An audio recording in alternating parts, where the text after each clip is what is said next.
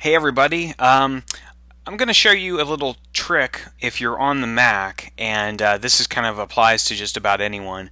Uh, in rare cases, you may need to kind of delve inside of a, a program application bundle, uh, and I'm going to show you how to do that. Let me show you why this came up.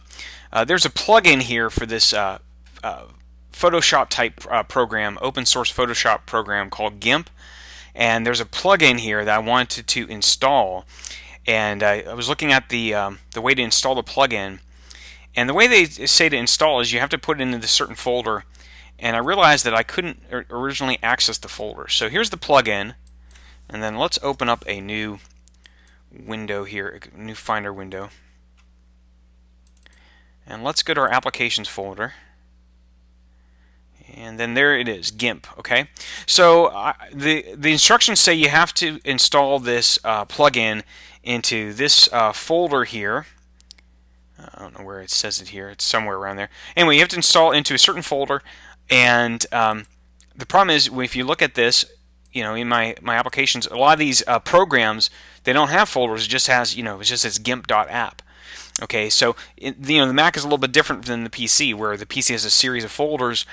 Uh, on the Mac, applications are kind of bundled together which is really nice because you could drag this application into a different area, uh, a different folder completely. It would still work, and that's not always the case in Windows. But if you do need to access the inside of this application, uh, simply right-click on the application or control-click if you got one mouse, and uh, select the second option, Show Package Contents. Okay. Now you're in. You've drilled inside of the application, so then you can go in, and then you can find the. Uh, where's that? It's under Resources. Yeah library. It's in here somewhere. Anyway, um, so you know you just have to keep opening these files until you find the folder, which is right in here, plugins. Okay. Well, it's in there somewhere, but uh, but basically that's that's the the way you do it. Okay, so that's how you access the inside of an application.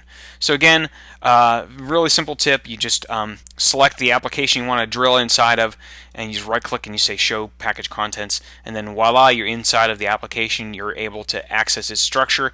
You can uh, download plugins into it. Okay, so I hope that little trick helps out.